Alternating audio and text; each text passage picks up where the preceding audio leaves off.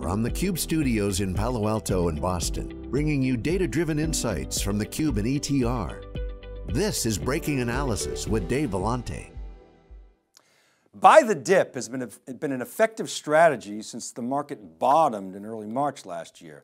The approach has been especially successful in tech and even more so for those tech names that one, were well positioned for the forced march to digital, I sometimes call it, i.e. remote work, online commerce, data-centric platforms, and certain cybersecurity plays, and two, already had the cloud figured out. The question on investors' minds is where to go from here. Should you avoid some of the high flyers that are richly valued with eye-popping multiples, or should you continue to buy the dip? And if so, which companies that capitalized on the trends from last year will see permanent shifts in spending patterns that make them a solid long-term play. Hello and welcome to this week's Wikibon Cube Insights powered by ETR. In this breaking analysis, we shine the spotlight on three companies that may be candidates for a buy the dip strategy. And it's our pleasure to welcome in Ivana Delevska, who's the Chief Investment Officer and founder of Spear Alpha, a new research-centric ETF focused on industrial technology. Ivana is a longtime equity analyst with a background in both long and short investing. Ivana, welcome to the program. Thanks so much for coming on. Thanks for having me, David. Yeah, it's really our pleasure. I, I want to start with your ETF and give the folks a bit more background about you. First, you know, we got to let people know I'm not an investment pro. I'm not an advisor. I don't make stock recommendations. I don't sell investments. So you got to do your own research. I, I have a lot of data, so happy to share it, but you got to understand your own risks. You, of course, Ivana, on the other hand, you do offer investment services, and so people before investing, got to carefully review all the available, available investment docs, understand what you're getting into before you invest. Now, with that out of the way, Ivana, I have some stats up here on this slide. You know, Spear, you're a newly launched female-led firm that does deep research into the supply chain. We're going to talk about that. You try to uncover, as I understand it, underappreciated industrial tech firms in some pretty, pretty cool areas that we list here. But tell us a little bit more about your background and your ETF. So thanks for having me, David. Um, my background is in industrials research and uh, industrial technology investments. Um, I've spent the past 15 years covering this space. And what we've seen over the past five years is technology changes that are really driving fundamental shifts in, uh, in industrial manufacturing processes. So whether this is 5G connectivity, innovation in the software stack, increasing compute speeds, all of these are major technological advancements that are impacting uh, traditional manufacturers. So what we try to do is assess, speak to these firms and assess who is at the leading and who is at the lagging end of this digital transformation. And we're trying to assess what vendors they're using, what processes they're implementing, and that is how we generate most of our investment ideas. Okay, great. And, and I, we show on the bottom of, of this sort of intro slide, if you will, uh, so one of the processes that you use. And one of the things that, that is notable, a lot of people compare you uh, to Kathy Wood's ARK Investments when you came out. Uh, I think you, you use a, a, a, different process. I mean, maybe there are some similarities in terms of disruption, but the, at the bottom of this slide, it shows a McKinsey sort of graphic that, that I think informs people as to how you really dig into the supply chain from a research standpoint. Is that right? Absolutely. So for us, it's all about understanding the supply chain, going deep in the supply chain, and gather data points from primary sources that we can then translate into investment opportunities. So if you look at this McKinsey graph, uh, you will see that there is a lot of opportunity to for these companies to transform themselves both on the front end, which means better revenue, better products, and on the operation side, which means lower cost, whether it's through better operations or through better processes on the, the back end. So what we do is we will speak to a traditional manufacturing company and ask them, okay, well, what do you use for better product development? And they will give us the name of, name of the firms and give us an assessment of what's the differences between the competitors, why they like one versus the other. So then we're going to take the data and we will put it into our financial model and we'll understand the broader market for it, um, the addressable market, the market share that the company has, and we'll project the growth. So for these higher growth stocks that that you cover. The main alpha generation uh, potential here is to understand what the amount of growth that these companies will generate over the next 10 to 20 years. So it's really all about projecting growth in the next three years, in the next five years, and where will growth ultimately settle in, in the next 10 to 20 years. Love it. We're going to have a fun conversation because today we're going to get into your thesis for Coupa, Snowflake, and Zscaler. We're going to bring in some of our own data, some of our data from ETR, and, and why you think these companies may be candidates for long-term growth and, and, and be buy the dip stock. So to do that, I hacked up this little comparison slide that you're showing here. I do this for context. Our audience knows I'm not a CFA or a valuation expert, but we like to do simple comparisons just to give people context and a sense of relative size, growth, and valuation. And so this chart attempts to do that. So what I did is I took the most recent quarterly revenue for Coupa Snowflake and Zscaler, multiplied it by four to get a run rate. We included ServiceNow in the table just for baseline reference because Bill McDermott, as we've reported, aspires to make ServiceNow the next great enterprise software company alongside with Salesforce and Oracle and some of the others. And, and all these companies that we list here, the three, the three here, they aspire to do so in their own domain. So we're displaying the market cap from Friday morning, September 10th. We calculated a revenue run rate multiple and we show the quarterly revenue growth. And what this data does is gives you a sense of the three companies. They're well on their way to a billion dollars in revenue. It underscores the relationship between revenue growth and valuation, Snowflake being the poster child for that dynamic.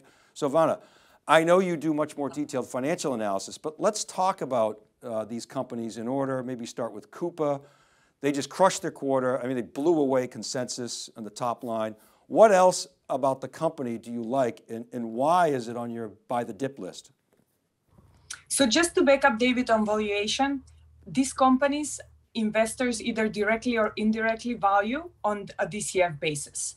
And what happened at the beginning of the year as interest rates started increasing, people started freaking out. And once you plug in 100 basis points higher interest rate in your DCF model, you get significant price downside. So that really drove a lot of the pullback at the beginning of the year. Right. Now where we stand today, interest rates haven't really moved all that significantly off the bottom of the bottom. They're still around the same levels, maybe a little bit higher, but those are not the types of moves that are going to drive significant downside in this stock. So as things have stabilized here, a lot of these opportunities look pretty attractive on that basis. So Coupa specifically came out of our, um, if you go back to that, uh, that the chart of like where the opportunities lie in, um, in across the manufacturing uh, um, enterprise, Coupa is really focused on business spend management. So they're really trying to help companies reduce their cost.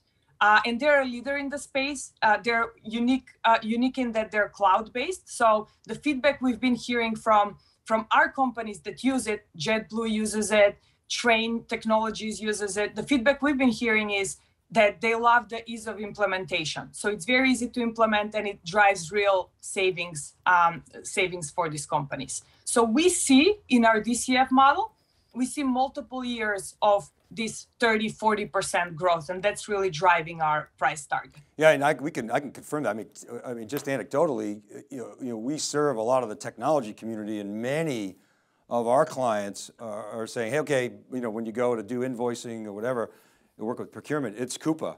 You know, this is some Ariba, that's kind of the legacy, which is SAP. We'll talk about that a little later, but let's talk about Snowflake. Um, you know, Snowflake, we've been tracking them very closely. We know the management there. We've watched them through their last two companies, now here, uh, and have been following that company early on since, since really 2015. Uh, tell us why you like Snowflake um, and, and maybe why you think it can continue its rapid growth.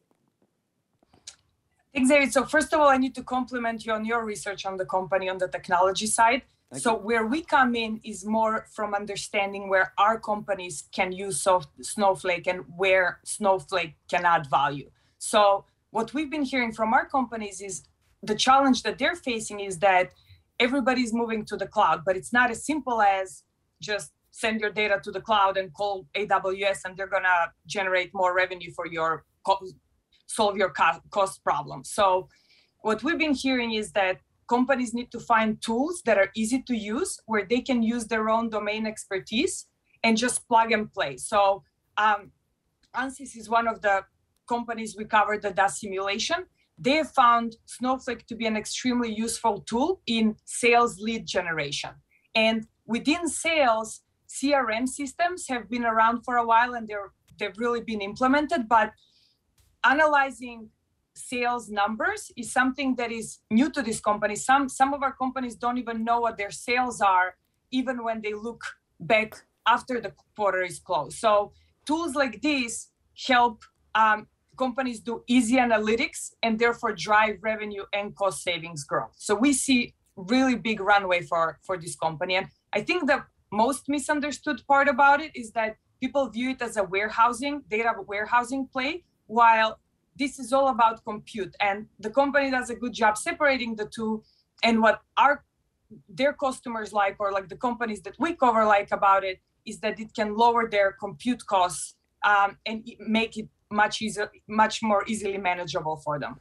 Great, and we're going to talk about more about uh, each of these companies, but let's talk about Zscaler a bit. I mean, Zscaler is a company we've been very excited about uh, and identified them kind of early on. They've definitely benefited from the move to cloud generally and specifically the remote work uh, situation with the, the, cyber threats, et cetera. But tell us why you like Zscaler. So interestingly, Zscaler, um, we, we like the broader security space, um, the broader cybersecurity space. And interestingly, our companies are not yet spending to the level that is commensurate with the increase in attack rate. So we think this is a trend that is really going to accelerate as we go forward. Um, my own board, 20% of the time on the last board meeting was spent on cybersecurity, what we're doing. And this is a pretty simple operation that, that we're running here. So you can imagine for a large enterprise with thousands of people all around the world um, need, needing to be on a, on a single simple system, Zscaler really fits well here. Very easy to implement. Several of our industrial companies use it. Siemens uses it. G uses it, and they've had great, great experience with, with it. Excellent. I just want to take a quick look at how some of these names have performed over the last year and, and what, if anything, this data tells us. This is a chart comparing the past 12 months performance of, of those four companies uh, that we just talked about, and we added in you know, ServiceNow. Zscaler, as you can see, has outperformed the other despite your commentary on discounted cash flow. Snowflake has underperformed really precisely for the reasons that you mentioned, not to mention the fact that it, it was pretty highly valued. Uh, and you can see relative to the NAS, but it's creeping back uh, lately after very strong earnings, even though the stock dropped after it beat earnings because the street wants the CFO to say, to guide even higher than maybe as Mike Scarpelli feels is prudent. And you can see Coupa has also underperformed, relatively speaking. I mean, it absolutely destroyed consensus this week. The stock went up, but it's been off with the, the weaker market this week. I know you like to take a longer term view, but, but anything you would add here? Yeah, so interestingly, both Zscaler and Coupa were in the camp of as we went into earnings, expectations were already pretty high because few of their competitors reported very strong results. So Zscaler yesterday, their revenue growth was was pretty strong. The stock is down today, uh, and the reason is because people were kind of caught up a little bit in the noise of this quarter growth is 57, last quarter it was 60. Like, is this a deceleration? We don't see it as that at all. And the company brought up one point that I thought was extremely interesting, which is as their deal sizes are getting larger, it takes a little longer time for them to see the revenue come through. So it takes a little bit of time to for you to see it into uh, from billings into into revenue. Uh, same thing with Coupa, very strong earnings report, but I think expectations were already pretty high going into it, uh, given the ServiceNow and um, and Anaplan as well reported strong results. So I think it's all about positioning. So we love these setups where you can buy the dip in on this opportunity where like people get caught up in um, short-term noise and, and it creates good entry points. Excellent. I, I want to bring in some data from our partner ETR and see if you have any comments, Ivana. So what we're showing here is a two-dimensional chart. We like to show this uh, very frequently. It's based on a survey of between 1,000 and, and 1,500 chief information officers and technology buyers every quarter. This is from their most recent July survey. The vertical axis shows net score, which is a measure of spending momentum. I mean, it measures the net percentage of customers in the survey that are spending more on a particular product or platform. In other words, it essentially subtracts the percentage of customers spending less from those spending more, which yields a net score. It's more granular than that, but basically that's what it does. The horizontal axis is market share or pervasiveness in the data set. It's not revenue market share like you get from IDC. It's, it's a mention market share. And now that red dotted line at the 40% mark on the vertical represents an elevated level. In other words, anything above 40% we consider notable. And we've plotted our three buy the dip companies and included some of their competitors for context. And you can see we added Salesforce, ServiceNow, and Oracle and that orange ellipse because they're some of the bigger names in the software business. So let's take these in alphabetical order, Ivana, starting with Coupa in the blue. You can see we plotted them next to SAP's Ariba, and you can see Coupa has stronger spending momentum, but not as much presence in the market. So to me, my inference is, oh, that's an opportunity for them to steal share, more modern technology, you know, more facile, and of, and of course Oracle has products in this space, but the Oracle dot includes all Oracle products, not just the procurement stuff. But uh, maybe your thoughts uh, on this. Absolutely, I love this chart. I think that's you, you are spot on this would be the same way I would interpret the chart where um, increased spending momentum is, is a sign of the company providing products that people like and we, we expect to see Coupa's share grow, market share grow over time as well. So let's come back to the chart and I want to, I want to really point out the green ellipse. This is the data zone, if you will. Uh, and we're like a broken record on this pro program. Snowflake has performed unbelievably well in net score and spending momentum, every quarter the ETR has captured enough N sample in its survey, holding near or above 80%. its net score consistently is, has been up there and we've plotted Databricks in that zone. It's been expected, right, that Databricks is going to do an IPO this year, late last month. Company raised 1.6 billion in a private round. So I guess that was either a strategy to delay the IPO or raise a bunch more cash and give late investors a, a low risk bite at the apple, you know, pre-IPO as we saw with Snowflake last year. Uh, what we didn't plot here are some of Snowflake's biggest competitors, Ivana, who also happen to be their partners, most notably the big cloud players, all who have their own database offerings, AWS, Microsoft, and Google. Now, you've said Snowflake is much more than a database company. I wonder if you could add some color here. Yeah, that's a very good point, David uh, basically the, the, the driver of the thesis in Snowflake is all about acceleration in spending. And what we're seeing is the customers that are signed up on their platform today, they're not even spending, they're probably spending less than 5% of what they can ultimately spend on this product. And the reason is because they don't yet know what the ultimate applications are for this, right? So you're gonna start with putting the data in a format you can use, and you need to come up with use cases or how are you actually going to use this data. So back to the example that I gave with Ansys, the first use case that they found was trying to optimize leads. There could be like 100 other use cases and they're coming up with, with those on a daily basis. So I would expect um, this score to keep, keep, uh, keep up pretty high or, or, or go even higher as we, as people figure out how they can use this product. You know, the buy the dip thesis on Snowflake was great last quarter because the stock pulled back after they announced earnings. And, and we reported, we said, you know, my, the, the, the company, well, Cleveland Research came out. Remember, they got the, the dip on that.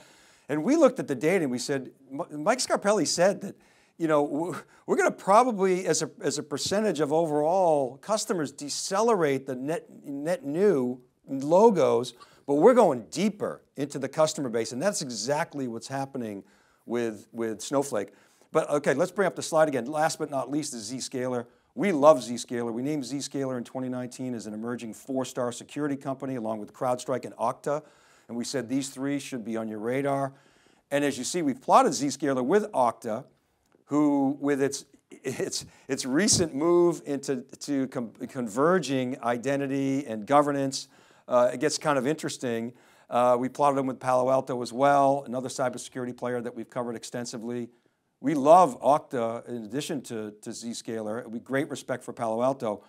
And you'll note, all of them are over that 40% line. These are disruptors. They're benefiting, well, not so much Palo, Alto, they're more legacy, but the, the other two are benefiting from that shift to work from home, cloud security, modern tech stack, uh, the acquisition that, that Okta made of, of, of, of Auth0, and again, Zscaler cloud security, getting rid of a lot of hardware, uh, really has a, a, huge tailwind at its back.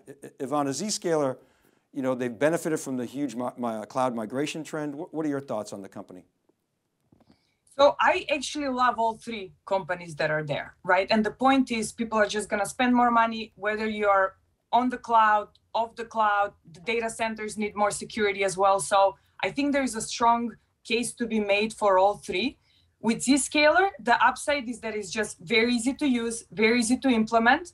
And if you're somebody that is just setting up infrastructure on the cloud, there's no reason for you to call any other competitor, right? With Palo Alto, the case there is that if you have an established um, security platform, if you're on their security platform, the data on the data center side, uh, they they did introduce through several acquisitions a pretty attractive cloud offering as well. So they've been gaining share as well in the space, and and the company does look pretty attractive on valuation basis. So for us, cybersecurity is really all about rising tide lifts all boats here, right? So you can have a pure play like Zscaler uh, that benefits from the cloud, but even somebody like Palo Alto is pretty well positioned um, to benefit. Yeah, we think so, so too. Uh, over a year ago, we reported on the uh, valuation divergence between Palo Alto and Fortinet. Fortinet was doing a better job uh, moving to the cloud and obviously serves more of a mid-market space. Palo Alto had some go-to-market execution challenges. We said at the time, they're going to get through those. And when we talk to, to chief information security officers, Palo Alto is like the gold standard. They're the thought leader. They want to work with them. But at the same time, they also want to participate in some of these you know, modern cloud stacks. So uh, we agree, uh, there's plenty of room for all three. Uh, it, just to add a bit more color and drill into the spending data a little bit more, this slide here takes that net score and shows the progression since January 2019. And you can see how Snowflake just incredible in terms of its ability to maintain that ele elevated net score as we talked about.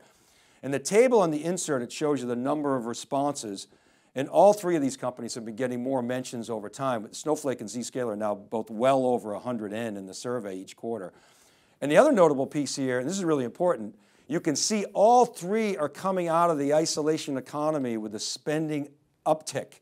Nice uptick shown in the most recent survey. So that's, again, another positive. But I want to close, Ivana, with kind of making the bull and bear case and, and have you address really the risks to the buy the dip scenario. So Look, there are a lot of reasons to like these companies.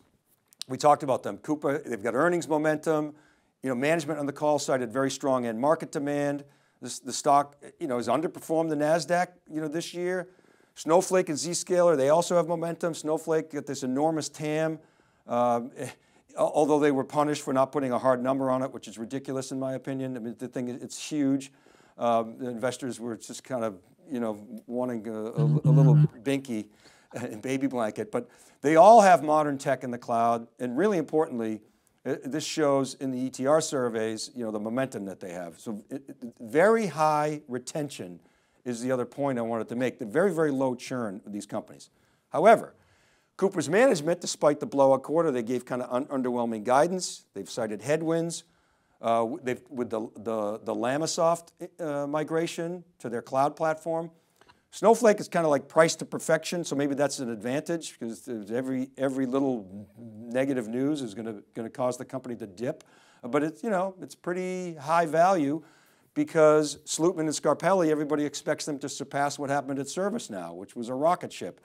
And it, it could be all, argued that all three are, are richly priced and overvalued. So, but Ivana, you're looking out, as you said, a couple of years, three years, maybe even five years. How do you think about the potential downside risks in, in, in your buy the dip scenario? You buy every dip? you, you looking for bigger dips or what's your framework there? So what we try to do is really look every quarter the company reports, is there something that's driving fundamental change to the story? Or is it a one-off situation where people are just misunderstanding what the company is reporting? So in the case, we kind of address some of the earnings that, that were reported, but with Coupa, we think the, man, the management is guiding conservatively as they should. So we're not very concerned about their ability to execute on, on the guidance and, and to exceed the guidance. With Snowflake price to perfection, that's never a good idea to avoid a stock uh, because it just shows that there is the company is doing a great job executing, right? So um, we are looking for reports like the Cleveland report, where they would be like negative on the stock, and that would be an entry point um, for us. So broadly, we apply buy the dip philosophy, but not uh, not if something fundamentally changes in the story. And none of these three are showing any signs of uh, fundamental change. Okay, we're going to leave it right there. Thanks to my guest today, Ivana. Tremendous having you. Would love to have you back. Great to see you. Thank you, David. And you definitely want to check out SPRX and the SPEAR ETF. Now remember, I publish each week on wikibon.com and siliconangle.com. These episodes, they're all available as podcasts. All you got to do is search Breaking Analysis Podcasts. You can always connect with me on Twitter. I'm at dvellante or email me at david.vellante at siliconangle.com. Love the comments on LinkedIn. Don't forget to check out etr.plus for all the survey action. This is Dave Vellante for theCUBE Insights, powered by ETR. Be well, and we'll see you next time.